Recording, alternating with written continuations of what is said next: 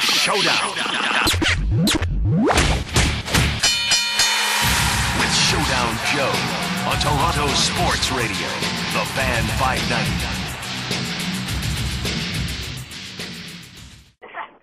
All right, Dave. Last time I saw you was a couple of weeks ago. Uh, you know, down in the states in Minneapolis, I was sitting on a bench, and all of a sudden, this guy walks by me and throws a Showdown Joe insult. And lo and behold, who it was? The Crow, David Loiseau. How's it going, my man? I'm good, man. How are you? I'm doing okay. So, big fight coming up. Uh, you know, you're taking on Solomon Hutchinson. Uh, you're headlining the XMMA five event. Uh, tell us your preparation a little bit for for Solomon. Uh, actually, actually, the opponent was changed. It's not Solomon anymore. So, because there's been problems with with the with the visa and all that. So right now they're still looking for an opponent. So uh, yeah, it's not it's not uh no opponent has been confirmed yet. But you're still training, hoping to headline that event, correct? Oh, oh yeah, I'm headlining that event for sure. Now, are you also are you also an owner of the event, or you just strictly fight for the event? No, I'm I'm part I'm part owner of the company. I have uh, I have shares in, in uh, Extreme MMA. You know, I started it off. Me and Steve Claveau started off that that uh that show. You know, that organization. So um, so yeah, uh, I'm uh, I have shares in the company for sure. So talk about putting your butt on the line and putting your whole career on the line. You're you're, headlining your own event. Any any extra pressure added to yourself in doing so?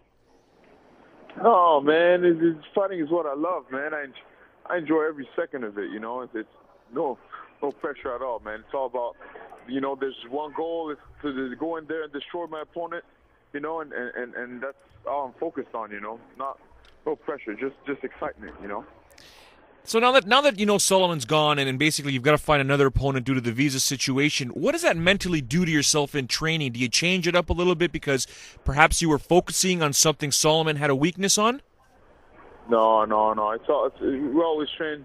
We train the same. We train the. We change the strategy around, you know. But uh, but uh, you know, I have a lot of experience, so it's easy for me to adjust to different fighters, you know. Now you talk about experience. You fought everywhere from events, you know, like in from Montreal, UCC, TKO, all the way to the UFC, Elite XC, and of course, you know, hardcore championship fighting. Now you're your your your own event. The experience over the years, the game has changed. And I remember, you know, being there for your very first fight against Justin Bruckman way back in June of 2000. That's over eight years ago, and there's a different crow nowadays. And I've seen you go up and down with your career. Where do you feel your career? Where do you feel your career's at right now versus what's going to happen in the future? I'm on. I'm on my way back up. That's for sure. I'm uh, I'm uh, it's like a trampoline, you know. Like I, I went down and then boom, I'm jumping up, back up. You know, I'm just gonna reach heights that I've never reached before. I know that. I, I'm sure of that. You know, I, I train so hard. I'm so disciplined. You know, even through the ups and downs, I never thought of stop like quitting fighting, and and and I never stopped training. You know, I always kept training with the with the top the top guys around. You know, so so. So everything's gonna fall back into place, man, for sure.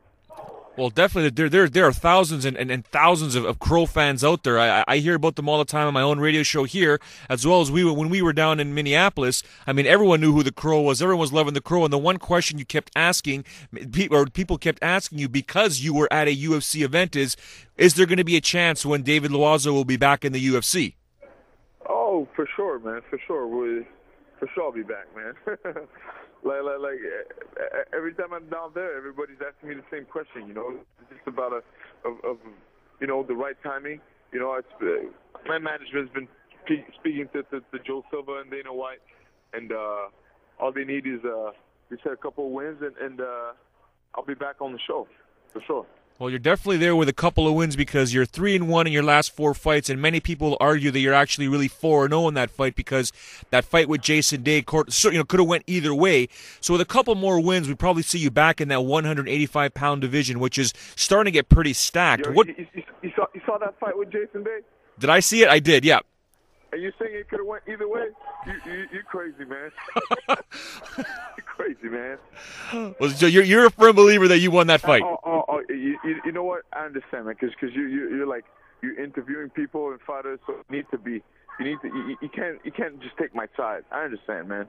I understand. Why are you putting me between you and Jason? You gotta, you gotta be, you gotta be professional. Hey, man, Jason's my boy, man. I, I love, the, I, lo- I love the guy, man. He's he's a great guy, great human being, you know.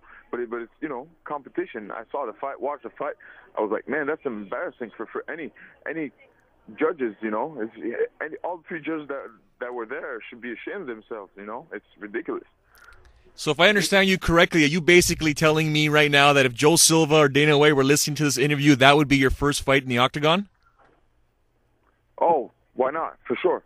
And, and you know, I'm not calling him out. It's just I'm a competitor, man, and and I I see things the way I see them, and um and I saw a robbery when I fought when I fought Day. You know, I don't really I don't call anybody out, man. If it happens that I have to fight him, I'll fight him.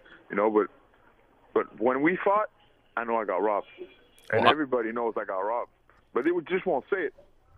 I hear you. I hear. You. I mean, you guys are both my friends, and I'd love to see you guys fight again. I just wish you guys would fight other people. But hey, a business is a business, and that's the way it goes. Now, going going back to the situation, looking at your camp. I mean, there's all kinds of studs in that camp. You got George St. Pierre and, and you know Dennis Kang and guys like that. Firas is helping you guys out. Talk about training with such an elite camp where some guys don't have that opportunity. What does it do to your game specifically? Well, it just it just uh, the, that's what I was telling you before. You know, it just helps you helps so much. You know, to improve your game. That's all. That's all I've been doing, man. Improving. You know, I've been I've been improving so much, and we're all helping each other out. I'm training with Dennis, Dennis Kang, then George, then Patrick Cote, Jonathan Goulet, Tom Murphy. I got so many guys, man. Rashad Evans, uh, Keith Jardine, uh, Nate Marquardt. So many guys I train with. It's it's ridiculous, man. Back and forth. You know, I go to New Mexico. I go to Denver, Colorado. Train with with Nate. It's it's crazy, man. I mean, even Joey Villasenor. I train with him too. It's crazy. I got so many guys to work with. So many guys that could tell me, okay, you do you did this wrong, correct this like that, and and it's it's much. It makes my job easier, you know.